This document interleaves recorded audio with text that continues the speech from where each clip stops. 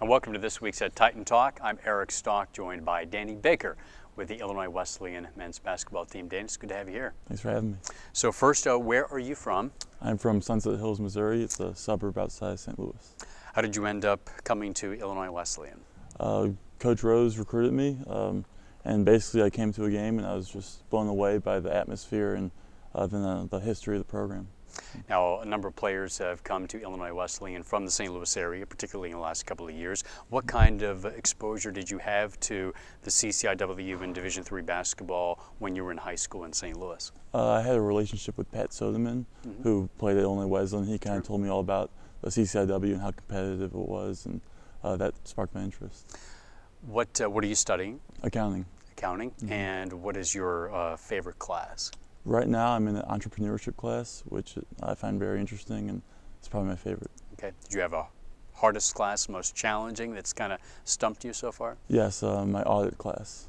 Auditing. Mm-hmm. Okay. What do you look to do with that in, say, the next uh, 10 years?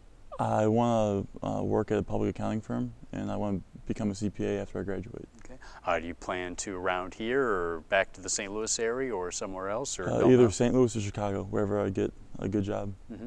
Uh, why do you feel that Illinois Wesleyan has been such a good fit for you, uh, academically and athletically? Academically, it's got a great accounting program, and going into Illinois Wesleyan, I knew that's what I wanted to do. Um, it's got the highest CPA pass rate in the state of Illinois, so that kind of blew me away. And then uh, athletically, it's just a really great program to be part of. Um, just the whole town's involved. You have all the fans, and I just love all my teammates and the coaches. Sure. What has been the best part of your experience here? Is there a particular moment or or anything along those lines that, that comes to mind? Uh, not in particular. I guess the season in general has been my, my favorite time. I, I love my teammates. I love my coaches, and we're having a really great season. So. Sure. Uh, how, is, how has this year been for you uh, personally to sort of get into the mix and, and be a part of the rotation, one of the key guys off the bench? Right. Uh, I just I love the experience I've gotten this year. Uh, I love the it adds a little bit more pressure being in the games, but mm-hmm. I, that's why I'm here. I love that. So. What do you see your role as? Uh, I just go into the game and work as hard as I can and uh, do some of the dirty work. Coach Rose calls me the junkyard dog, so I try to get as many rebounds as I can try to set hard hard screens, try mm-hmm. to and then try to keep the offense flowing. Sure.